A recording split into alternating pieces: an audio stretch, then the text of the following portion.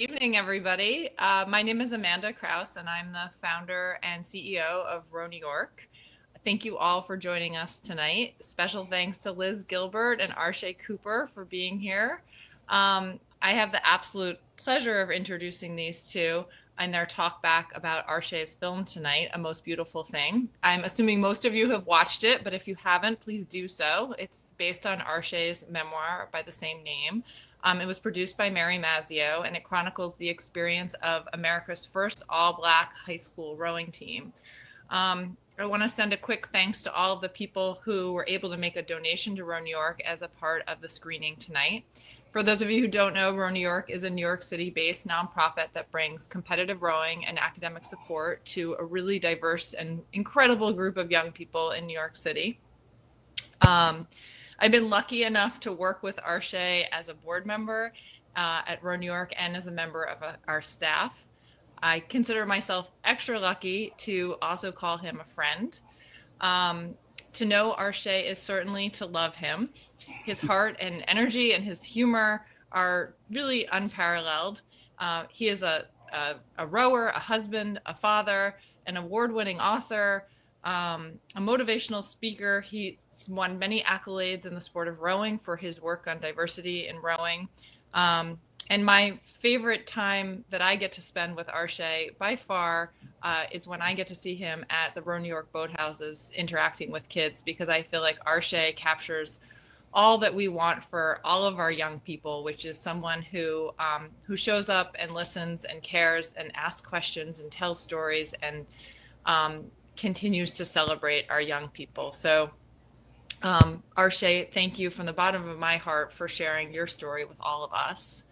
Um, Liz Gilbert probably needs no introduction, um, but just in case, she's a best selling author of nine books, including Eat, Pray, Love, Big Magic, Creative Living Beyond Fear, and most recently, a really great one, City of Girls. Liz is also a rower, um, but probably more importantly, in my mind, she's an invaluable friend to Row New York. Uh, she's not only a huge supporter of our programs for our kids, but she's endlessly generous with her time and her energy, including joining us here tonight. She, um, you know, there's very little she won't do to support our young people, and we're so grateful to her. Uh, and I can't think of two better people to be spending my Saturday night with. Um, so, down to business now. You can submit your questions in the chat function on the right side of the screen, and um, the moderators will pass them along. Uh, we may not get to all of them, but we'll try to get through as many as we can. And now um, I'm going to turn this over to Liz and to Arshay, and thank you both so much for doing this. Thank, thank you. you. um, we'll get right into it. Arshay movie is so exquisite. It's so beautiful. And I think, like many of us, I, I finished it with tears rolling down my face, inspired, um, amazed by the story, moved. And I wanted to ask you, um, I guess I wanted to ask you, begin by asking you a very simple fundamental question, which is why rowing? What is it about rowing that you think has the potential to be so transformative in people's lives? Um, in your book of the same name, uh, A Most Beautiful Thing, you talked about how when you were in high school and the kids on the football team, the basketball team knew that you guys were rowing, they would mock you. Nobody had ever heard of the sport. It didn't. It didn't get you any girls. It didn't get you. Any, Um, and and one of the, in fact, one of the athletes said to you, um, "You're you you don't exist." You know, basically, like as as somebody doing this sport, you don't exist. And and I want to know what your feeling is about that, um, about how rowing exists in your imagination and what it can do and be for people. Yeah, thank you. Great question. Uh, there's a couple answers to that. Um, number one, um, when Ken came to our school and talked about the sport, there was so much missing in my life and, and and so many things I wanted to accomplish but was afraid to. And I never been anywhere. So when he said rowing gives you the opportunity to to travel as a high school student, I was like, wow. Then he said you will learn how to swim. I was like, wow. You know, and then he said you will build a brotherhood. And that's something I didn't have. That was the first thing that really caught my attention. And to be a part of the sport and to have a group of guys that show up every day, not for cheerleaders, not for a million dollar contract one day after college, um, not for a busload of fans, not for a pep rally, but for themselves and the person who sits in front of you and behind you, and they're willing to break their backs and rip apart their hands every day was something that I needed so badly in my life because I only had one friend in high school. And so that was the first thing that was just um, uh, awesome in my life. And the second thing is that I tried out for football and I hated the way it made me feel. You know, the coach was like, knock him dead. And I was like, no, I don't want to hurt nobody. Like, I, am that's not in my nature. And then I would go try out for the basketball team. And when you playing basketball, it's a lot of trash talk. Like you suck, you garbage. And these were words that I heard all the time growing up from teachers and from people in the neighborhood. So it didn't make me feel good about myself. And then finally, I team up with these guys who didn't get along at first. We're pushed out into open water.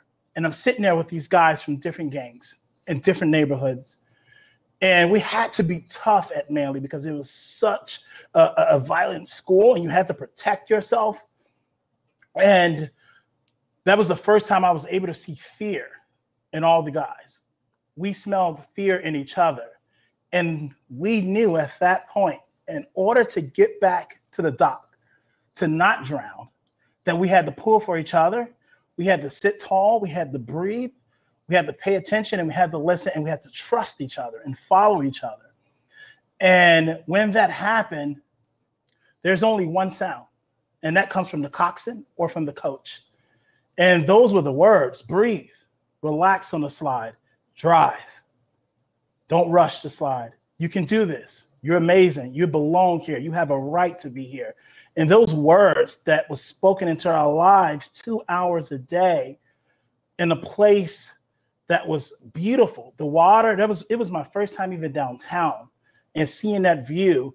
And it was like, you know, like in the shower, you finally get to uh, collect your thoughts, or when you're near the ocean, you're calm, or when there's a rainstorm, you you're locked in. And it felt like that every day on the water, just the magical rhythm and the blade, the sound of the blade hitting the water was pure meditation. And it storm it calmed the storm in me. And every day after practice, I was I just wanted to like follow and love or go to sleep. And it was just awesome for our spirits. And and that's when I fell in love you depict that so beautifully in the film about um, you know the guys are saying there's something like spiritual and holy it's a place of peace to be on the water. And there's a line in your book where you say um, it's amazing what beauty can do to drive out fear. Um, like just natural beauty which was obviously something that, that you guys were really starved of in neighborhood. Um, one of the things i love about what row new york is doing right now is they're building a truly beautiful boathouse for the community um, that's as beautiful as it humanly can be because of the belief that like these kids deserve to have something really beautiful they don't deserve to just see squalor every single day. They get to see majesty and grandeur. And and i think you communicated that really beautifully about what the what the water does to the spirit. Um, when you spoke about the violence of football and the violence and the competitiveness of basketball and you said that the coach the football coach said you know go get him kill him knock him dead. You know my heart stopped it because one of the things that's so devastating about this story is the amount of actual trauma of death and killing and violence that you had already seen as a young child and that all the kids that you grew up with had already seen. I was so glad in the movie that you spoke about the lasting, devastating intergenerational um, trials of, of, of combat. Of, I, I said combat, but it is combat of living in, in those kind of neighborhoods. And you said uh, from your book, at 14 years old in my neighborhood, kids had already experienced what most soldiers witnessed before. And you speak in the film about how um, kids from neighborhoods like yours have 10% higher rates of PTSD than most veterans returning. I was wondering if you could speak about trauma, um, what you've learned about it, how you think um, the sport can help it, where you see it um, causing the destruction in the neighborhoods, anything. Yeah. Um, I think number one, I, I remember even like every time there was a mass shooting in these suburban neighborhoods, they right away sent in all these trauma counselors after. And I thought that was important. But I remember saying, man, we experience that every day and never seen anyone. There were no trauma counselors, there were no social workers. I went through a life of skipping through pools of blood and and running from the sounds of bullets. So hearing gunshots when I sleep and experiencing that every day. And me and my friends will tell you, the guys in the boat, that we have never talked to anyone about it, never seen anyone about it. And I think what hit me even more is the fact that my grandmother, who's very old but alive and well, uh, who picked cotton in the South, when her and my grandfather seen a friend hung on a tree. Also, Malcolm, mom's brother, was hung on a tree. The trauma, the violence, or running from KK, KKK guys with their rifles have caused a lot of trauma in their lives. They have never seen anyone or talked to anyone about, and they all ran from the South to get away and was placed in one place where no resources and couldn't get loans because of the color of their skin, couldn't take out a mortgage. They were redlined. Um, and at the time, they called the neighborhood in Chicago the Black Belt, which means all the people migrated from the South. And, and, um, and, and, they really was in a community that was neglected and mistreated in ways that, and to deal with that trauma, a lot of my grandfather drank a lot of alcohol to deal with the violence that he saw and that he had to endure. And my mom had to pay for his trauma. And she was never able to see anyone. There was no resources to talk to anyone, to see anyone. And and and then early on, I had to deal with some of her trauma. And that passes on. And it's so important when, you know, that important part of the film, Pooh said, Pooh said in the barbershop, he said, that when they closed down the YMCA's, I ran to the streets. And the YMCA's were the places where you get to finally talk to a mentor or a coach or play basketball and have conversations around gang activity or what you was going through at home. But they were being shut down because there were no resources. And um, so it, that was important to speak about because every day, every day till this day, our young people are going through that and they're also afraid to talk to anyone. I didn't want to talk to anyone about it, and and and I tell young people all the time that it, it doesn't mean you're crazy to see someone. You just can't unsee what you saw, and I couldn't either. So it's always encouraging them to understand that the world is the way it is, especially on the west side of Chicago. It's because of slavery, because of Jim Crow laws, because of segregation, and because of the neglect that that is there, and and people were, were, were just trying to survive. And that's something that didn't make it to the film, but the guys talked about in the barbershop is the missing fathers and grandfathers, right? Who in the 60s were thrown in jail or was a part of the Black Panthers Party and was killed uh, for that movement and got out of jail and couldn't get work because they had a record. And it all contributed to uh, the poverty in our neighborhood and and you would do whatever it takes to survive to protect your family and and and and drugs are spread in our community and, and and, people took that to cope so there's some deep rooted issues that, that we really wanted to touch on. And um and and now what we're doing now is is working right now we're working with members of congress to um to hopefully uh, work with trauma specialists to get their get to get uh, forgiveness for their loan so they can go into these schools um, and, and, work with some of uh, these young people and to offer the sport of rowing right i didn't i wasn't able to see anyone but i was able to release and right there in that water with those guys when we were alone at the regatta the only blacks around we were able to talk to each other and receive healing from each other and for the mentors that we had when you speak about receiving healing from your mentors. Um, and I just wanted to say, everybody, I understand my sound is coming and going. Um, forgive me. It's it's my fault. It's my Wi-Fi. Stay with me. Um, we'll do our best. Um, important person's voice to hear is Arshay's. But uh, you speak about how the right person at the right time showing up in a young person's life can transform their life. Um, you talk about Eugene at the boathouse um, showing up and and giving you the words you needed right at the exact moment. And even the the when your mother was using drugs and the guy on the street who handed her a pamphlet to a recovery house these kind of miraculous almost angelic figures who show up in a person's life just at the right moment um, to give them the direction that they need. I wonder if you could speak about um, your experience being one of those people. As you've become a mentor a coach a, a speaker what's it been like for you to be on the other side of that? Uh, it's it's been great. I mean, what I've learned from Eugene and all these people who uh, was a part of my life, a part of the the, the roadmap uh, to success, um, has definitely uh, impacted my life. And I knew I had to give back to the the the place that gave to me. And I learned that from watching black TV shows like A Different World. There was this character Dwayne Wade, Dwayne uh, Wayne, and it the show really talks about these black um, amazing people on this college campus who not only went to this college but all came back to be professors. And i learned that from that tv show right? And i kind of knew that i want to dedicate my life to to giving back because the truth of the matter is this. I knew i wanted to be a chef. I knew i wanted to be a culinary chef and a celebrity chef. But also knew that harriet tubman career was a union spy but she's known um, for her freedom, the freedom that she represented. When you think of ML, MLK, um, you you know he was an educated preacher, but you think about the hope that he brings. Or you think about Gandhi, you don't say, "Oh, the attorney." You think about the peace that he represented. Right. And when you represent something bigger than your career and bigger than yourself, true change happens.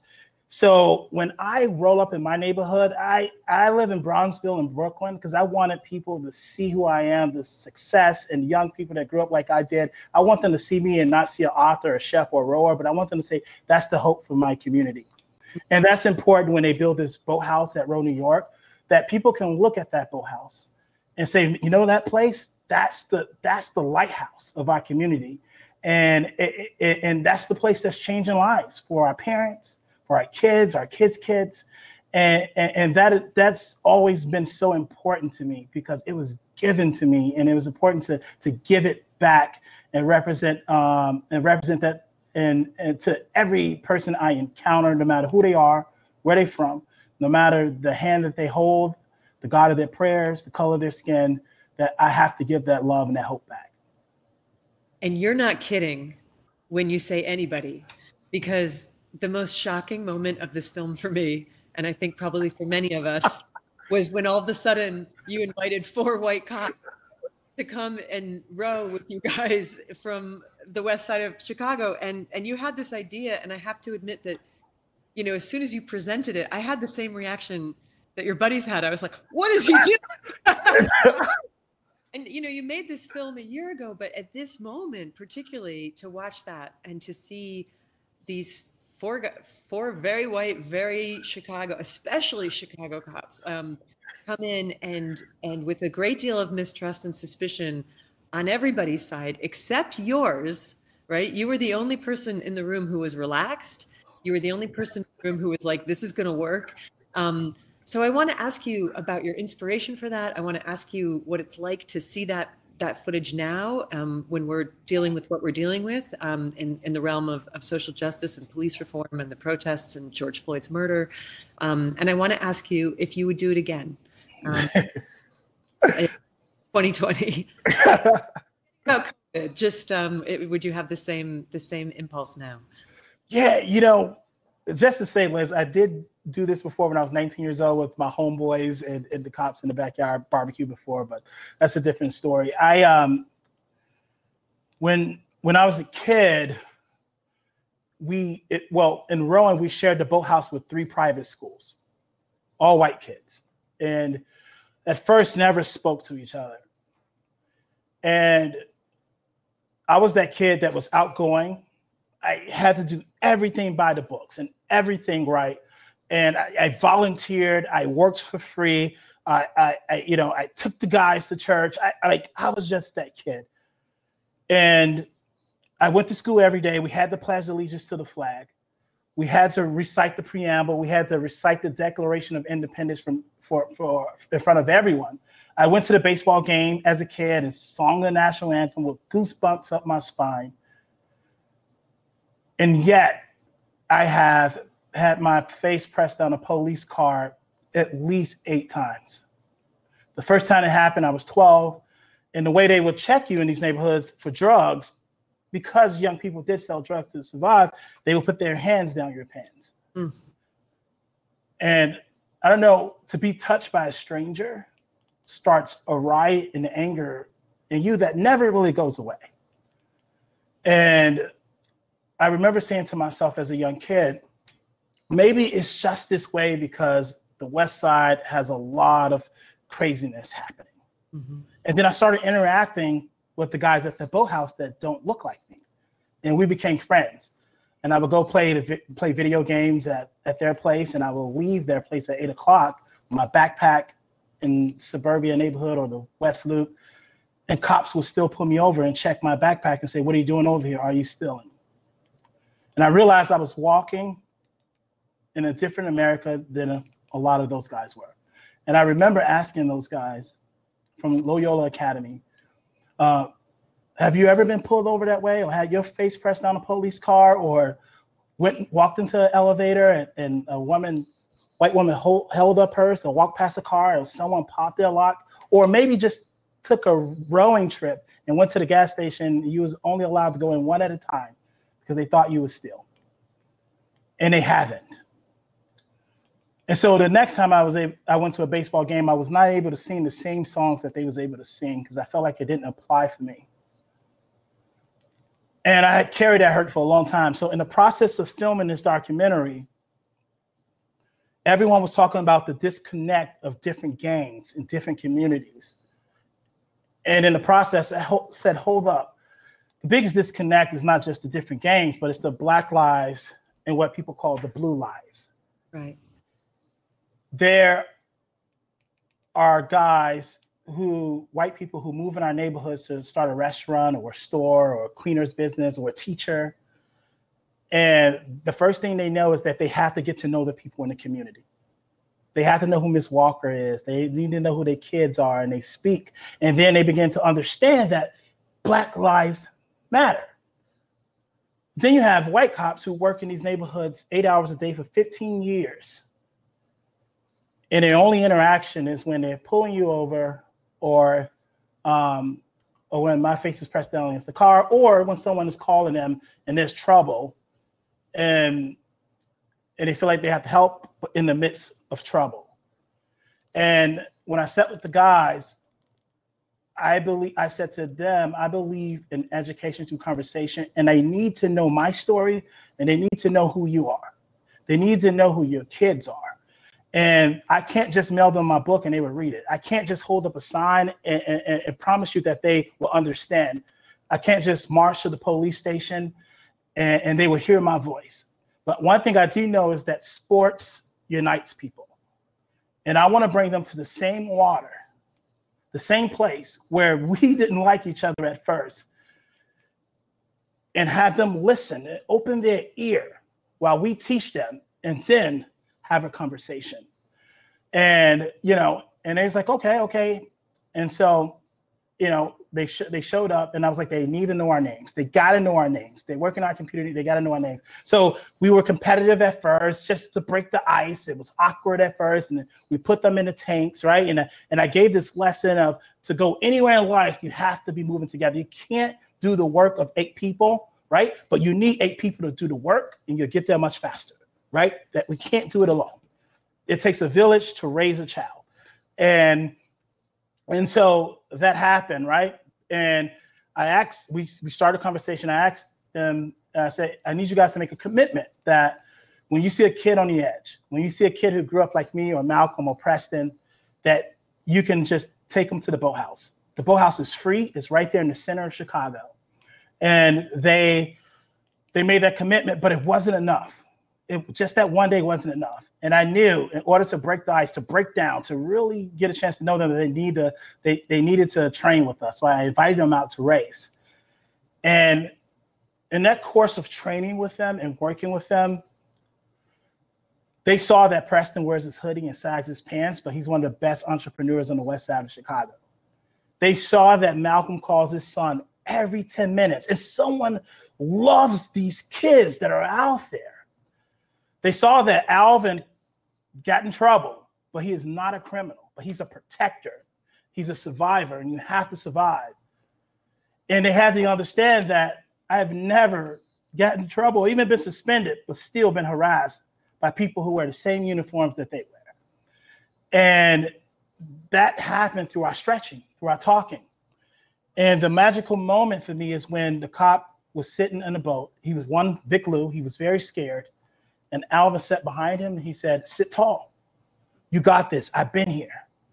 And Alvin took a lot of time with this guy outside of the camera, working with him, working with him. And um, and so um, we raced. We went to regatta. We met their kids. They met our kids. They met our moms. We worked with them.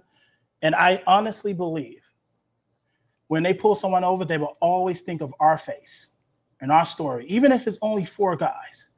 Because when that happened to George Floyd, when I looked on the TV and I saw a cop look into the camera, put his knee on this guy's neck and slowly kill a man, it brought back that trauma of having my face pressed down a police car. And then that anger and that riot that never goes away, it surfaced. Not just in my life, but many black people out there that is out there marching and angry. It brings back that experience. And the reason why I thought I, uh, I said to myself, I'm glad I got through because they all called me. They text me. I was going to ask you, have you yes, heard? Yes, absolutely. And they said, I can't believe this happened. I am so sorry. And this is what I said. You know, I said to I said to Carol, I said, every day in our neighborhood, you know, there's some violence. But I promise you, there's every every day there's people who look like me that is fighting to stop it and to offer opportunity. And every time I see a young man who got in trouble, I've worked with gang members before. I'm holding them accountable. That's happening every day.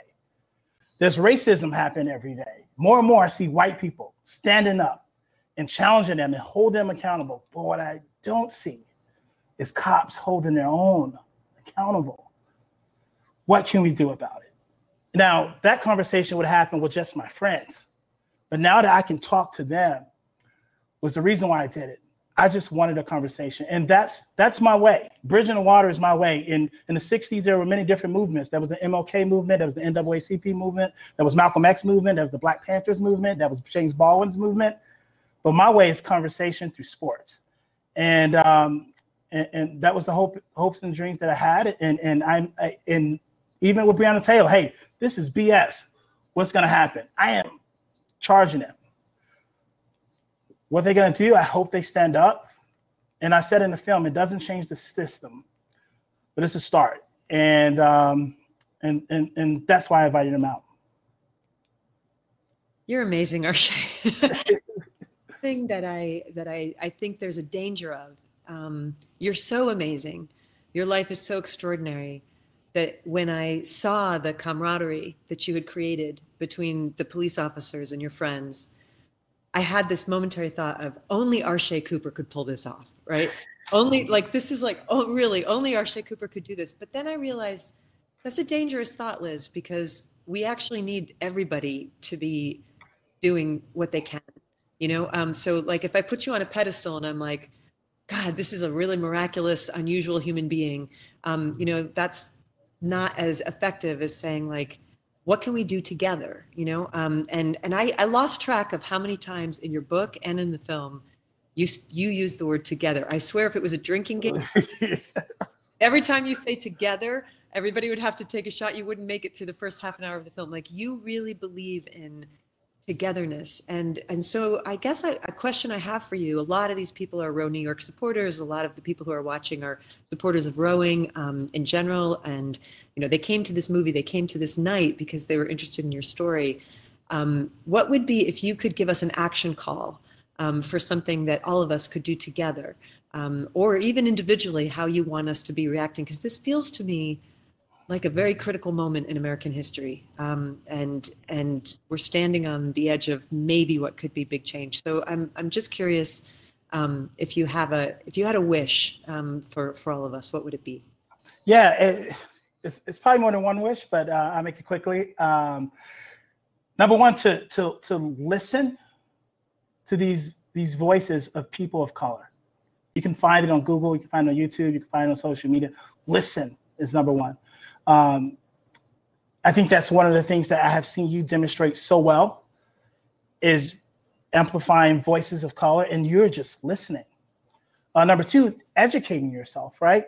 Finding the, the right books, the right documentaries, Cracking the Code, 13, Just Mercy, educating yourself, and then starting conversations and then taking action. For me, like there's so much I want to do in the world, right? But I understand that Black Lives Matter are doing a great job of what they're doing. NAACP is doing what they do. And there's basketball foundations that are really doing great things, but rowing is my way. And for most of us that's a part of this call, it's the sport of rowing. And the sport of rowing must uh, reflect the diversity in this country and the diversity in its cities.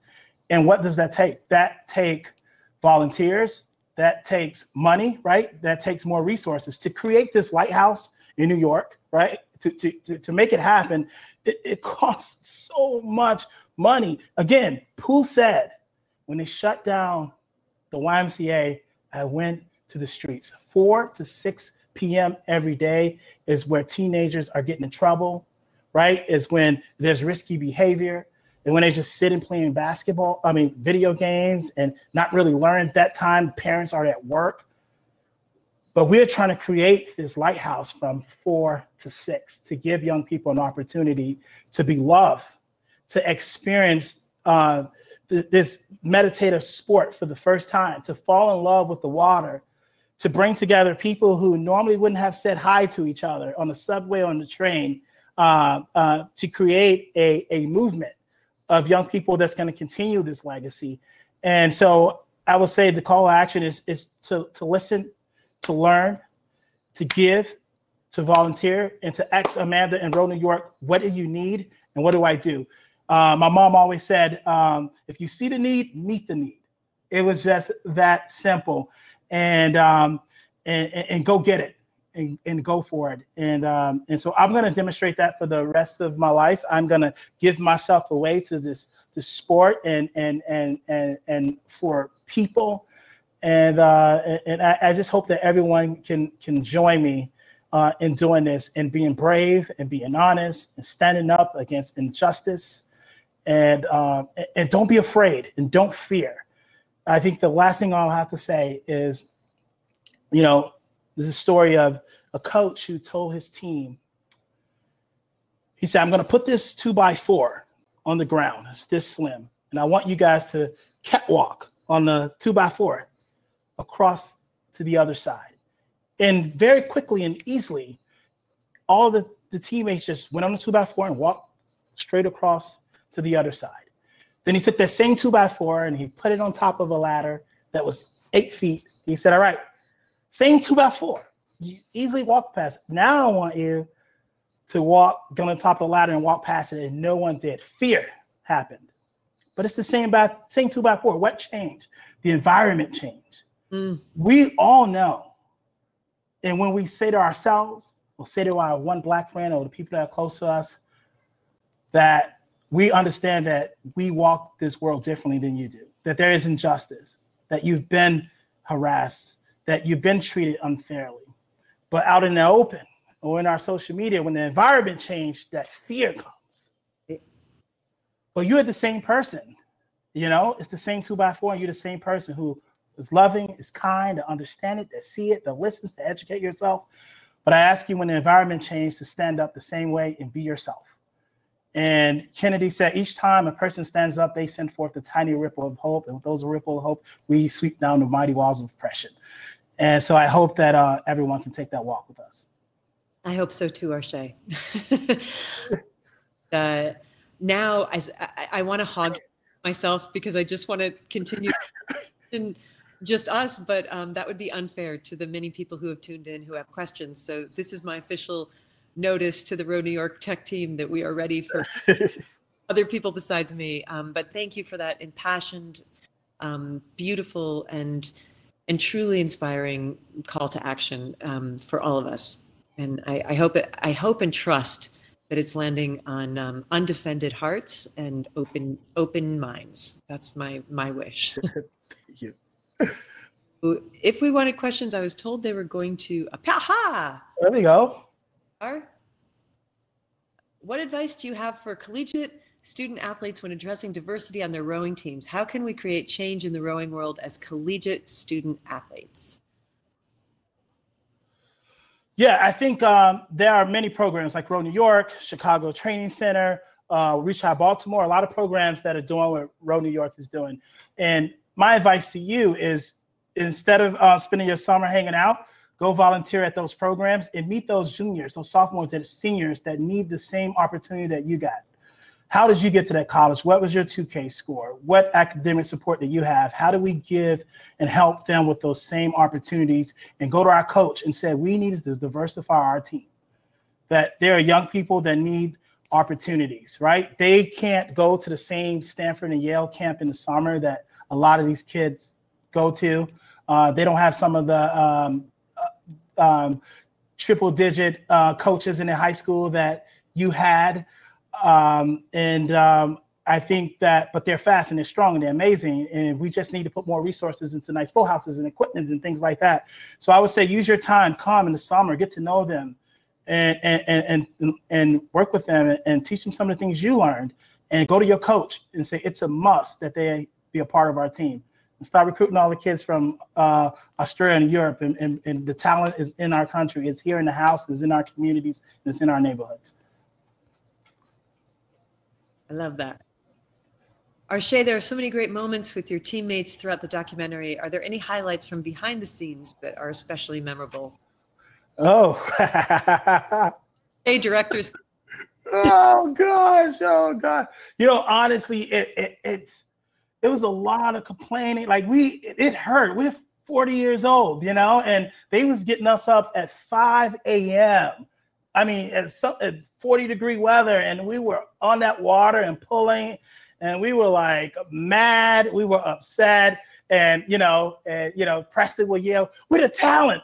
Where's the heaters? I need the heaters for the talent." You know, we enjoy that. That was it was hilarious, you know, and you know, they had fruit, and we were like, you know, we don't. Where's the pancake? So just like being in that environment, having fun, but the practices were um, were tough but um, it doesn't show everything. But as you can see in the film, we start off rough, rough, but we we redeveloped that chemistry again, and it was off the scene every day, showing up at practice.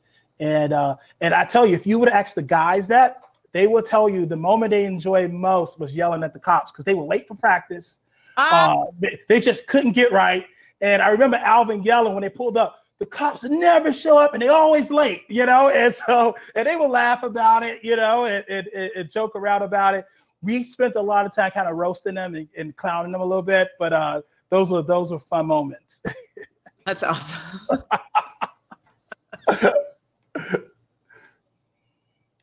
uh, what's happened to the other rowers on your boat since the July 19, uh, 2019 race? Um, the guys that were in the boat with me are the ones that didn't make it in the boat. Um, so since uh, 19, they're they're just uh, still running their business, and and it, it's cool though because a couple years ago I was at a, a, convention, and someone said in the middle of my speech, "How many of these guys went on to be Olympic rowers or national team rowers?" I was like, "None," but 90% of them are contributors, are entrepreneurs and contributors to their community and that's what they that's what they're doing that's what they're still doing they're hiring people and and uh, working with folks and getting their kids out to the boathouse and and um, can just continuing the legacy that our coaches started so many years ago. Because that was Ken's original intention, wasn't it? Like it was a combination of, of he was coaching you guys in in entrepreneurship. That's what he was. He yeah, was- yeah. So I think you know there's always you know there's there's Rowan as academic support. His idea was like entrepreneurship you know, and he was big on that and um, and rowing, and so and being a great human. And uh, and those are the things that we took and learned and, and used for the rest of our lives. Those lessons in the boat, how to use them outside of the boat, and and just building teams and and followers and leaders. What advice would you have for Black women who want to row? Bro, go out there, call me. I will teach you. I will work with you. It you're so powerful, especially young Black women. There are so many scholarship opportunities and and uh, on the college level, right? And it it, it Row New York will help you help you get there. Uh, but we need more Black women rowing. And here's the thing, that I had to call out different entities in this sport. I have a group that I work with that are, are all black men and black women that row, and there's so many black women that row. So join our join us uh, in, in, in our Zoom. You can email me for uh, more information. But um, please row, be, do it. It's, it is awesome. It's meditative. You have a place in this sport. Uh, with Row New York, a place in the sport with uh, me. Uh, but please do it. I want to see your faces out there. And I saw you were on a podcast recently called was it Diversity in Rowing? Oh, Rowing in Color. Rowing in Color. Okay, yeah. it looks there, there's resources out there. Yeah, there's resources out there. Yeah. Next question. Have you gotten to row the beautiful new Hudson single yet? No, I haven't. I am um, so Hudson reached uh, uh, you got to, Liz, you have to see this boat. It's amazing. So they dedicated a boat to me uh, just for my work. And it has like the Manley Crew logo on it. It's red and black, the Manley colors. And I've never even been in a single. So um, I'm excited to, to get on it. Um, and they gave me this boat. And I was like, I am so glad you guys gave me a boat. But uh, can we give um, boats to these organizations that need it? And they said, absolutely. I was like, good, let's work together. Arshay enjoys his gift for exactly 11.6 seconds before turning the attention once more to the community at large. Yeah. exactly who you are as a human being. Uh, do we have time for another question? Okay, question. Could you share a little bit more about you and your teammates' experience training with Olympic coach Mike Teti? E. Yeah, you know, it's um best way to explain him it's almost like so Michael Jordan said one time in an interview, they said, What makes you the greatest basketball player in the world? And he was like, oh, simple, just you know, just put the ball in the hole. You know, take the ball, put the ball in the hole. That's all you got to do. All right. And so Mike Teti was that kind of person. I was like, yeah, we're gonna get trained by the Olympic coach. We're gonna learn all these different technical skills, and it's gonna be awesome. And we get in the boat, and it's just like, uh, follow the person in front of you. Just sit up lose the gut and you'll get there. So it's like lose the gut, sit tall, follow the person in front of you. And that's what we did. really close to my 2020 New Year resolutions that I haven't made. I loved it. I said um, in the movie, like, it's not that complicated. It's just rowing. You know, like don't over it's just rowing, you know. And I was like, wow, I think that he that it would be a little bit more complicated than that. yeah, because you get in your own head, you know, and and and so you know, and that's when we had the UFC um, fighter Uriah Hall came out and talk about eliminating that doubt and that fear, you know, and and um, yeah, it, it don't have to complicate it. um, I have a, I have another question for you, if I can throw it in. You're such yeah. a storyteller. This is this is a writerly question from what from one writer to another. Um, tell me about your experience of writing the book and getting the movie made. Um, in terms of bringing your story to, I mean, this is a dream many people have to to share their stories in print and on screen, and you've actually done it. So, um, you know, was it was it easy? Was it hard? Was it? No, it was hard. I, I, I would I always said to myself like, you know, I'm not a writer. I'm just a storyteller. Like there was a lot of doubt, and I've never taken a writing class, so I was like, but I know I need to write this story, and I write it. I, you know, I was writing poetry as a kid because my first job was cleaning toilets. So I would clean toilets, and I would sit there and just write, you know, write write for Grace and write poems and stuff like that. And I remember when I wanted to write this book, I took a week off and and and I just sat on YouTube all day listening to these workshops on how to write a memoir. And then I was like, all right, I'm going to read a lot of James Baldwin and Antwone Fisher and all these memoirs. So I did that. And I remember I said to myself, I'm ready to write. And my uh, Ken's ex-wife Jenny said, "I have a book for you to read," and she gave me this book called "The Year of Magical Thinking" by Joan Didion. And I'm I'm on a New York train. I mean, being a black man reading that book in front of a lot of white women on the train, the people were like, "Oh, you know, you read some Joan Didion," and but the way she paints a picture through her writing, with that moment in the living room with her husband, having a glass of wine. I reading that book, I kind of was like, okay, reading James Baldwin, reading her, and how people paint a picture. I know what I have to do, and so I just started storytelling, like every story, and maybe on 60, 70 different pieces of paper. And then I just connected those stories and just made it poetic. And and uh, it was it was hard because you say to yourself, you, these are moments you never want to relive again. And I had to relive those moments.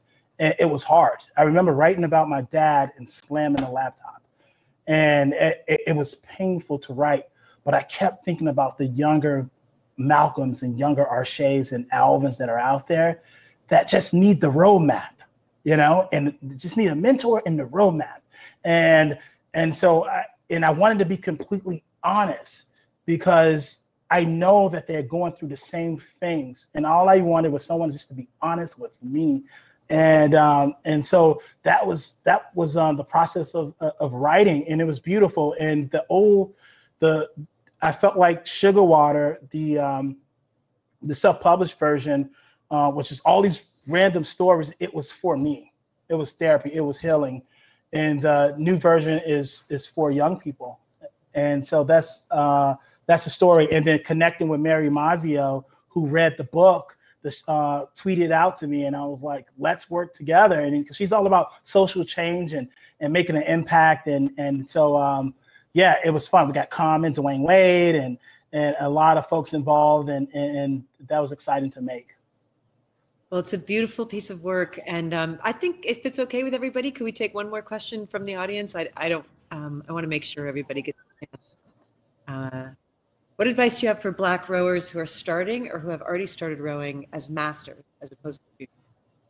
No, masters. Yeah, I think um, you know, it's it's learning, right? I think um, I, I, I love masters rowers, right? Um, I'm considered a master's rower now. Um, my advice is really just be you and invite your friends that look like you. I've with this group, I talked to a lot of black rowers who are the only ones in their boat in on the college level, and there's a lot of folks that are the only one on the uh, the high school level. But I am thankful for places like Row New York and my program that we had someone to lean on that was feeling the same thing that that I felt, right? Or you felt. And and so what I did in high school when, you know, some of the guys were dropping out or couldn't be a part of the team or I started recruiting myself as a kid, people who look like me, who I thought would be great in the boat. And I will tell you, your rowing experience is going to be good, but I challenge you to also get your friends to be a part of that team because my mission is to bring brown people on the water. And when that happens, we begin to interact with people who don't look like us. And we be able to, and we're able to recruit, uh, create a beautiful reflection of, of the city we live in and, uh, and, and learn many more things from each other. So do it, uh, do it with love, do it with passion, and invite others to experience the same thing that you're experiencing. Arshay Cooper, you are a national treasure. I'm so happy that I finally got to meet you. I've I've admired your work for so many years, and I and you and I have intersected through New York, and, and that both of us. Um, I know I speak for both of us when I say that Row New York is an organization that um, we love, that we admire, that we would do anything for. Um, those of you who have joined us, watch the film, um, look into Row New York and, and, and help them because the service that they do is, is extraordinary for, um, for the community. And thank you all for joining. Um, Arshay, all the best to you. Um, we'll always be your fan, whatever it is world. I'll always be watching, cheering, and hopefully participating. Thank you, Liz. Um, you know, and my wife has your books, so we got to get them signed at some point. um, and uh, thank you, Amanda Kraus, Rachel, uh, Mio, and the whole staff at Row New York. Um, thank you for doing all that you do. And I understand with COVID um, that it's been rough, it's been hard. But as rowers, we're trained that when a crab happens, we let it pass or we sit tall and fight against it and we keep rowing with the punches. So um, let's do that. Thank you. Thanks, everybody.